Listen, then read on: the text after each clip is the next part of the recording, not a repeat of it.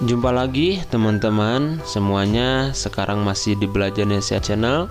Kali ini kita akan membahas tentang sosial media post ya Insya Allah.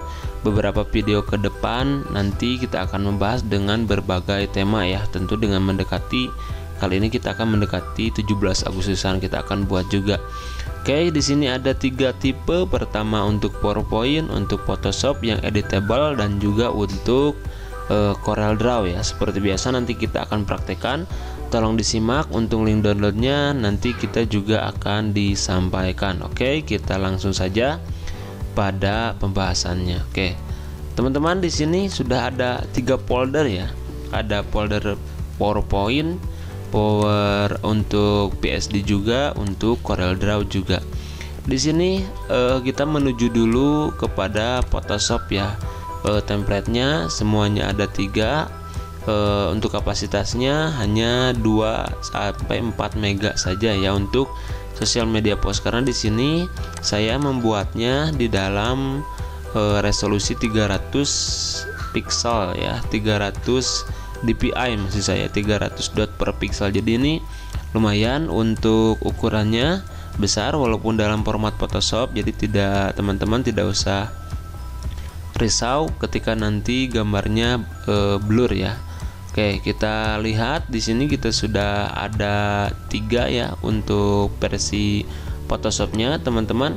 Kebetulan yang kita buat di sini hanya ada e, beberapa saja ya, jadi hanya ada tiga saja. Oke, kita coba dulu ini untuk tampilannya kita reset dulu ya. Barangkali oke seperti ini. Oke. Sekarang teman-teman perlu diketahui bahwa yang kita buat itu dalam konsep satu warna saja seperti ini. Teman-teman nanti bisa dilihat dalam menu tab layer silahkan nanti di ungroup dulu ya. Oke. Setelah itu di sini ada beberapa poin hanya eh, yang akan saya presentasikan yaitu ketika anda mau memasukkan teks dan juga mau memasukkan e, gambar. Maksud saya memasukkan modelnya pada bagian frame yang ini ya. Oke. Teman-teman jadi e, caranya kita coba masukkan dulu untuk fotonya ya. Oke teman-teman bisa menyiapkan untuk modelnya bisa menggunakan foto produk atau menggunakan foto model ya. Di sini saya menggunakan foto model eh, maksud saya model manusia ya jadi kita tinggal tarik saja seperti itu kita tinggal tekan enter dulu. Oke setelah itu teman-teman setelah gambar memang dirasa sudah masuk ya ke dalam Photoshopnya kita fokus dulu ke dalam framenya ya. Jadi pada bagian layer teman-teman tinggal dipilih dulu yang ini kita hidden dulu. Oke di sini ya. Jadi pada bagian layernya pada bagian framenya silakan teman-teman gunakan di sini bisa menggunakan eh, ada quick selection tool ya. Jadi tinggal diklik aja seperti itu secara otomatis karena admin di sini sengaja untuk frame-nya itu diberikan warna putih pada bagian tengahnya. Setelah itu kita kalau sudah punya teman-teman bentuknya tinggal kita kembalikan pada modalnya akan kita masukkan tadi ya. Oke kita coba dulu. Yang ini kita hilangkan dulu untuk seleksinya sekarang kita coba dibuat transparasi aja dulu ya ini untuk memperkirakan apakah modelnya itu terpotong atau tidak. Jadi kita tinggal dimasukkan aja seperti ini teman-teman diperkirakan untuk modelnya. Nah kalau sudah dirasa memang sudah masuk ke dalam frame dan tidak ada yang terpotong kita kembali ulangi pada bagian frame yang tadi ya yang ini Oke, kita ulangi menggunakan seleksi quick selection tool lalu kita digambarkan seperti itu. Ini sudah terseleksi. Kita kembali lagi ke foto. Kalau sudah diseleksi, kita pilih di sini ada 100% kan.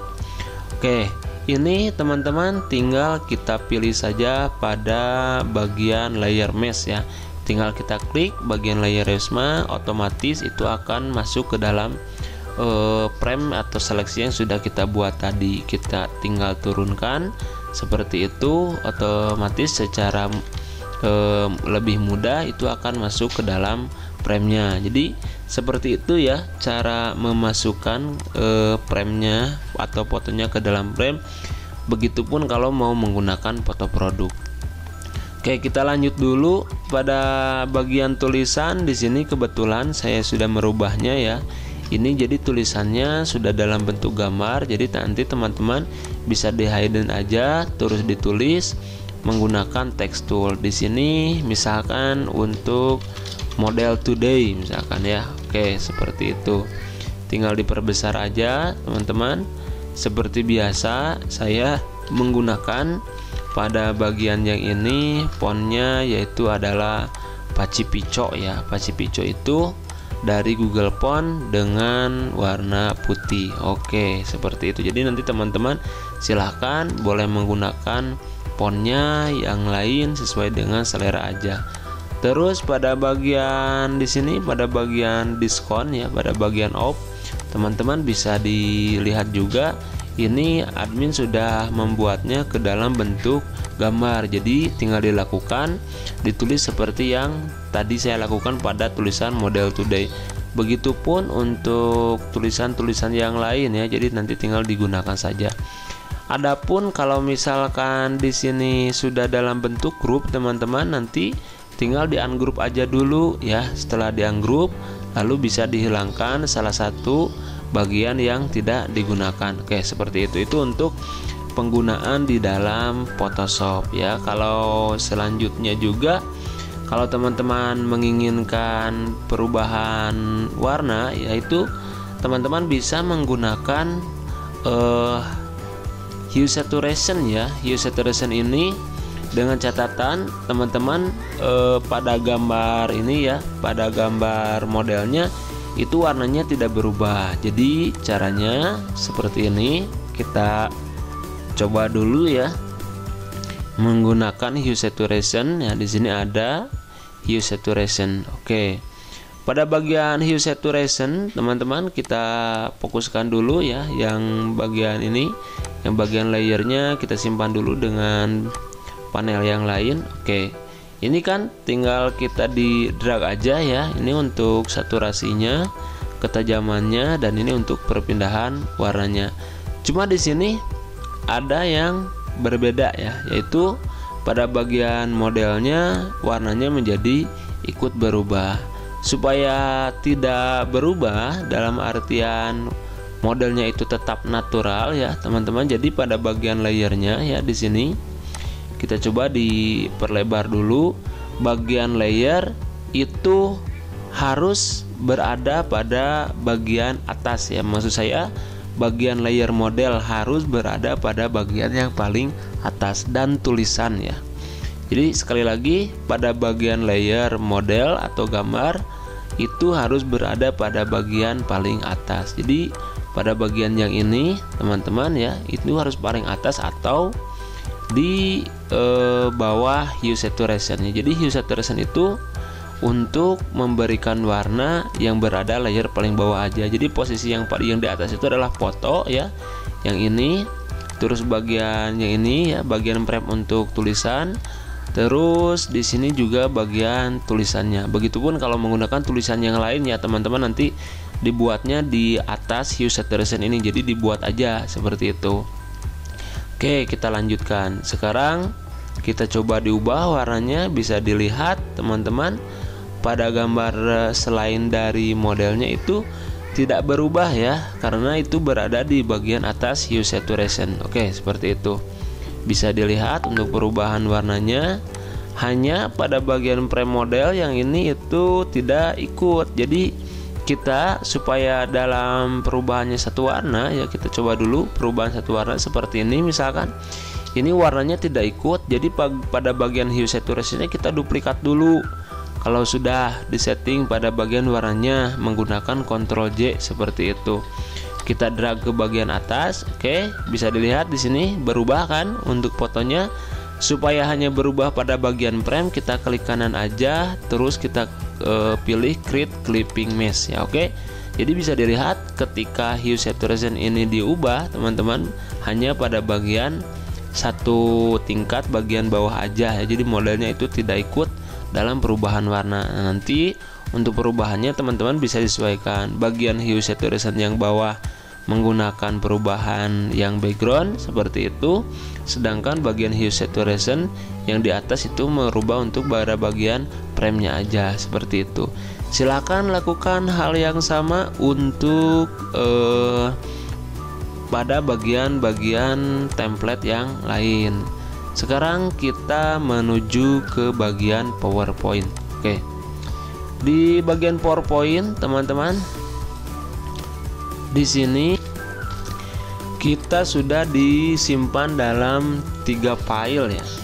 Tiga file ini kita sudah pisahkan dalam satu template satu templatenya.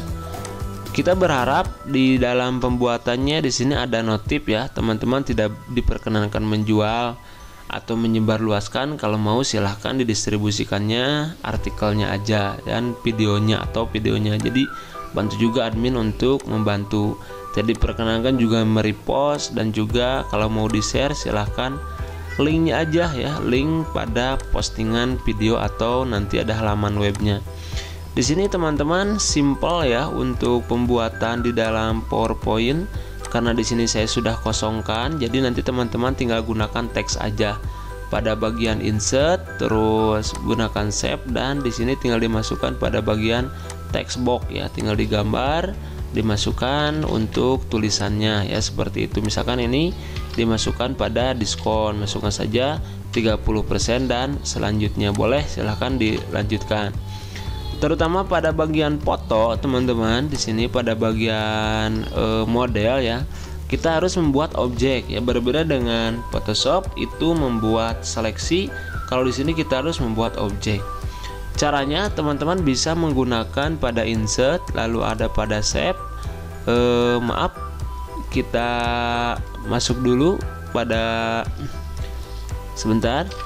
Kita masuk dulu ke dalam insert terus kita pilih bentuk segitiga atau bentuk yang paling mendekati bentuk ini ya. Kita gambar aja seperti itu, teman-teman. Setelah itu kita pilih format lalu ada edit shape ya.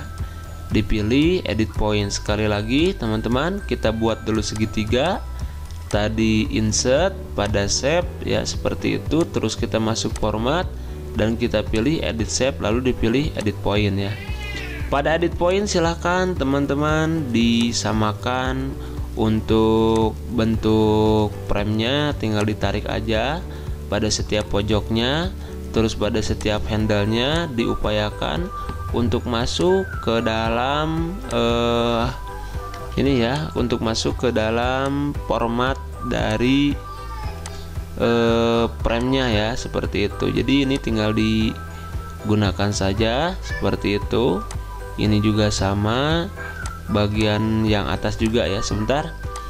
Ini admin tidak terbiasa ya tidak terbiasa menggunakan mengedit vektor di PowerPoint. Oke jadi agak gegap juga ya. Oke.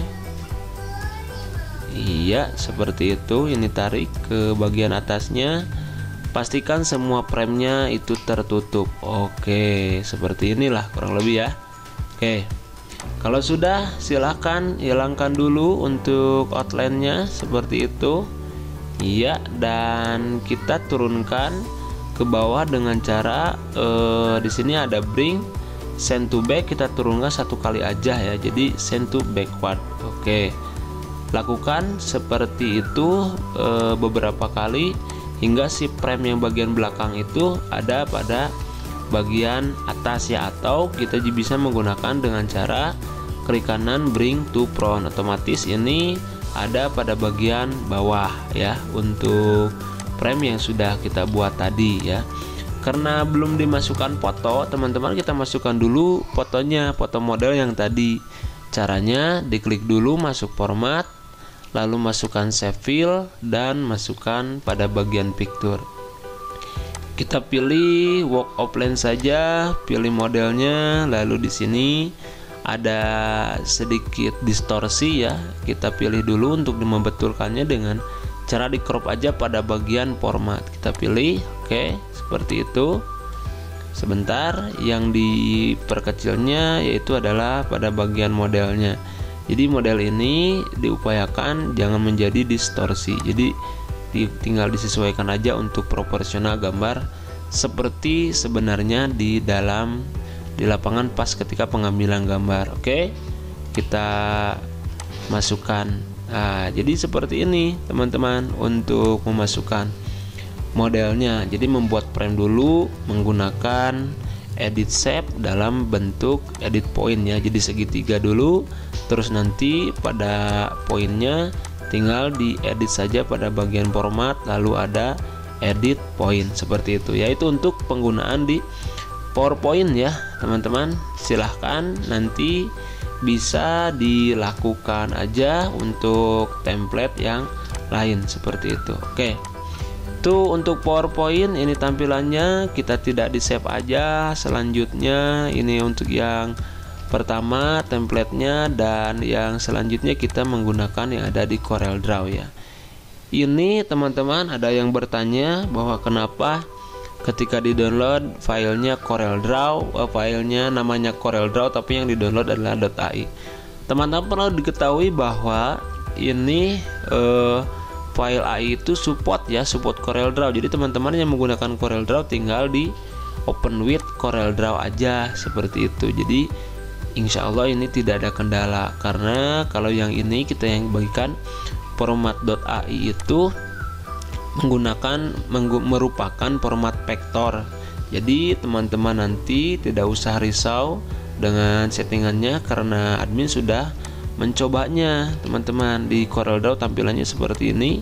Sama sekali terlihat ya tidak ada perbedaan. Tinggal di ungroup objek dulu dan silakan teman-teman dilakukan untuk proses pembuatan atau penggunaan modelnya. Karena ini semuanya vektor. Tentu teman-teman untuk pengguna CorelDRAW tidak asing lagi ya. Jadi tinggal prosesnya mudah. Teman-teman tinggal dimasukkan untuk modelnya yang tadi ke dalam Corel Draw nya sendiri ya. Oke seperti itu. Lalu eh, tinggal dibuat objek ya teman-teman. Di sini dibuat objeknya menggunakan ellipse tool. Oke. Jangan lupa bentuknya juga harus presisi teman-teman ya.